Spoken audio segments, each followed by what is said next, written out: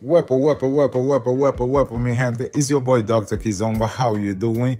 Dr. Kizomba, right now we are at the studios, Dr. Kizomba, okay, right here in Montreal, okay? So today, okay, is about a storytelling, okay, mixed with reality. Storytelling and reality. Let me actually sit down right here um, to tell you the story of Trisha, okay? Trisha, all right, hypothetically, right? Trisha used to be a girl or a boy, I don't know. This world right now, we never know. So Trisha never really had a lot of friends. Why? Because Trisha wanted to control every single situation that Trisha was, okay? So if Trisha was playing with everything or with everybody, Trisha would come with her with her toys and say to the rest of the people that my toys are better than your toys therefore we should play with your toys okay? So what happened with your toys? Then everybody start forgetting about their toys and you know leave their toys outside. So the trisha after can come and say oh my god listen i gotta go home right now and my mom really want me to take all my toys.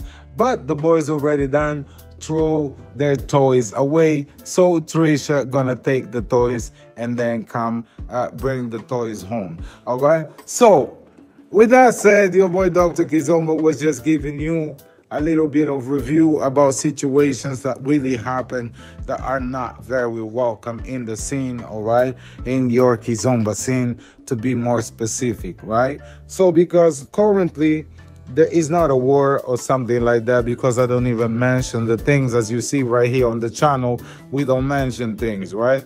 But I have a very good friend that he started with this amazing project from the scratch, you know. He invited some people to get along on this project, all right? And then all of a sudden, you know, we had a Trisha situation, okay?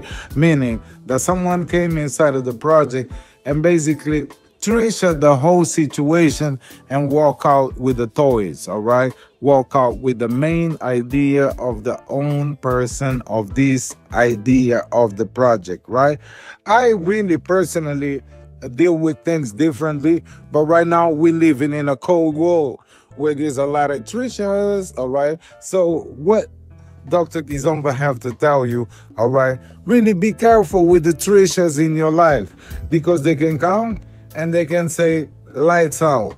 I need everything right now on your possession because I need to go and I gotta take my toys with you. Be careful. This was the story about Trisha.